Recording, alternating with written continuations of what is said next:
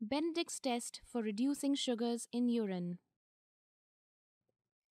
Benedict's test is used to detect the presence of reducing sugars in urine. Sugars in urine, other than glucose, do not react with the glucose oxidase method in test strips, and hence suspected cases for fructose, galactose, lactose, pentose, and sucrose should be tested by Benedict's test. It is especially important that this is performed in young pediatric patients. The reducing sugars reduced cupric ions present in the Benedict solution to colored cuprous ions. Depending on the concentration of reducing substances, the color change may vary from green, yellow to orange to red.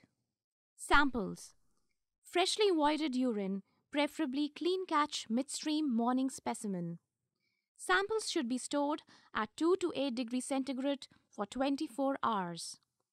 Grossly contaminated or unlabeled specimens should be rejected. Equipment Test tube, Benedict's reagent, dropper, spirit lamp or Bunsen burner. Procedure Standard precautions need to be exercised. Mix the urine sample well.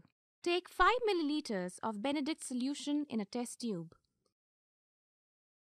Add 8 drops of urine to the Benedict solution. Bring to boil. Observe the color change. Results and interpretation. Blue color indicates absence of sugar in urine. Green or slight yellow precipitate indicates presence of trace amounts of sugar, approximately 25 to 500 milligrams per deciliter. Thick yellow color can be graded as plus 1 or plus 2 or indicates the presence of 500 to 1000 milligrams per deciliter of sugars in urine. Plus 3 positive test is given by an orange precipitate and is indicative of 1000 to 1500 milligrams per deciliter of sugars in urine. Red precipitate forms in a plus 4 positive test and indicates the presence of more than 1500 milligrams per deciliter of sugars in urine. Always correlate with urine strip test and blood sugar results if available. Quality control.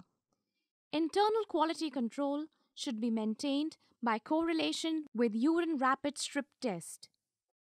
Proficiency testing can be done by split sample testing once a month by two technicians. Interlab comparisons can be done as per feasibility.